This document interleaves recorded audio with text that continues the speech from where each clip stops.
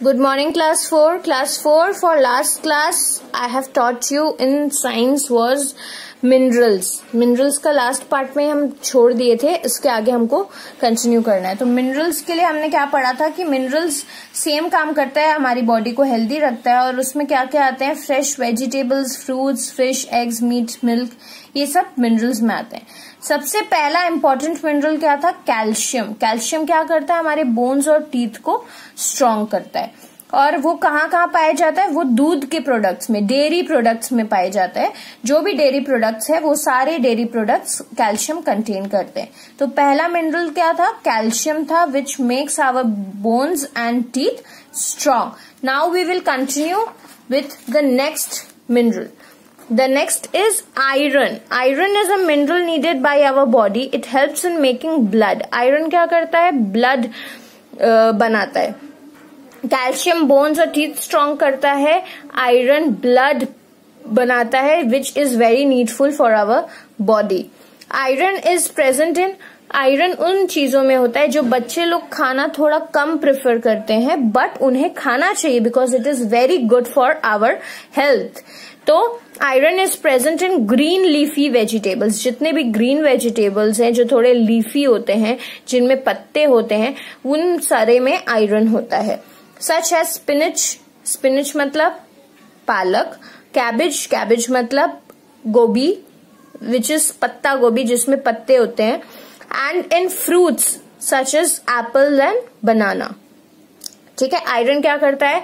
Iron makes blood ठीक है?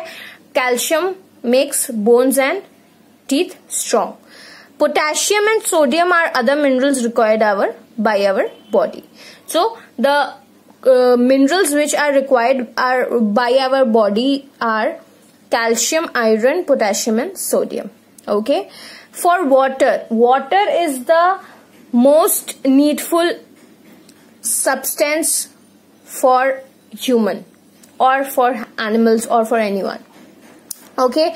To stay healthy our body also needs sufficient amount of water. We should always drink water especially in summer जो गर्मी का season है, उसमें बहुत पानी पीना चाहिए स्पेशली बच्चों और ओल्ड लोगों को, क्योंकि उनकी एनर्जी सबसे ज़्यादा खर्चा होती है। तो इस वजह से they should drink more and more of water okay water help us to digest obviously it help us to digest food and to remove waste from our body it help us to digest food जो खाते हैं, जो suppose नहीं हो पा रहा है, नहीं डाइजेस्ट हो पा रहा है there something that is in our stomach जो अभी भी परेशान कर रहा है। You can drink a lot and lot of water it can digest food it helps the body absorb the nutrients properly ये हमारे बॉडी को हेल्प करता है न्यूट्रिएंट्स लेने के लिए। जितने भी हम फ़ूड खाते हैं जिससे हमें न्यूट्रिएंट्स मिलता है इसे एब्जॉर्ब करने के लिए it help us to absorb the nutrients properly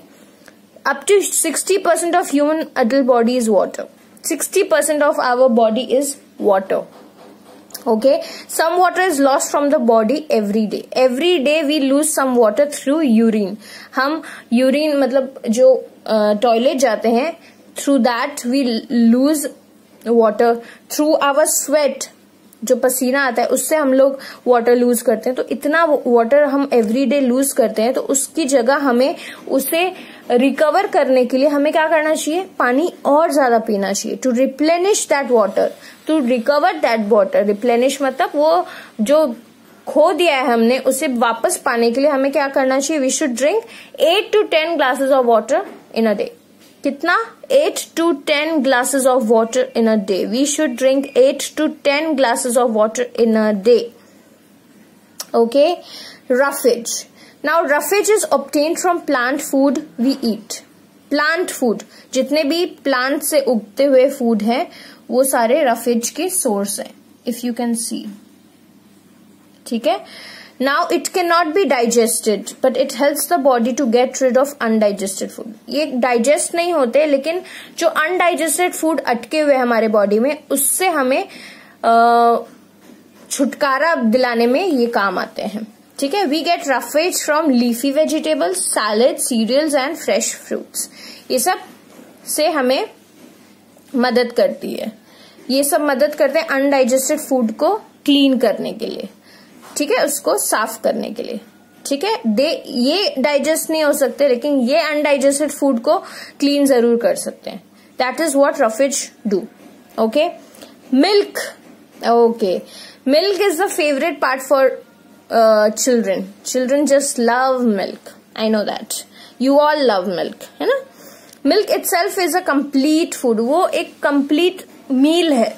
अपने में अगर तुम कुछ नहीं खाओ suppose you are going to school सुबह सुबह and you don't want to eat anything कुछ खाने का मन नहीं है just have a glass of milk a big glass of milk you are full पूरा दिन तुम फुल रहोगे and you will feel energetic milk is a complete food it is a good source of carbohydrates fats protein vitamin minerals and water every each and every nutrient is present in milk milk is if you don't eat anything you just drink milk three times a day you are still full तुम्हें भूख नहीं लगेगी but if you like milk obviously तभी आप तीनों time milk P सकते हो नहीं तो you will have food I know that this is the reason newborn babies are given only milk for several months you see जब बच्चे छोटे छोटे बच्चे होते हैं जो बॉर्न अभी हुए हैं अभी अभी उन्होंने जन्म लिया है so they drink only milk उनको सिर्फ़ मिल्क मिलता है लेकिन फिर भी they are energetic they do everything लेटे लेटे ही करते हैं लेकिन at least they are moving their legs, they are doing and still they are full. Sometimes they are not full and they cry and they get the milk. तो for several months बहुत सारे महीनों के लिए milk ही born baby का खाना होता है। Milk also makes the teeth strong calcium की जो कमी होती है टीथ में, तभी तो टीथ वीक होते हैं। तो कैल्शियम किससे मिलता है? मैंने क्या बताया था? मैंने बताया था कि कैल्शियम मिलता है डेयरी प्रोडक्ट जो कि दूध का प्रोडक्ट है, और दूध तो खुद ही डेयरी प्रोडक्ट में आता है। ठीक है? तो टीथ कैसे स्ट्रांग होंगे? मिल्क पीने से। Infants and younger children need to drink milk in adequate quantity for complete nutrition उन लोग को एक सर्टेन क्वांटिटी में मिल्क पीना चाहिए ताकि उनको कंप्लीट न्यूट्रिशन मिलता रहे। Okay so class four for today your class is done please read this two pages uh, carefully and completely and uh, do the worksheet according to this page. I have given you some questions to solve. Do the worksheet. Hope to meet you soon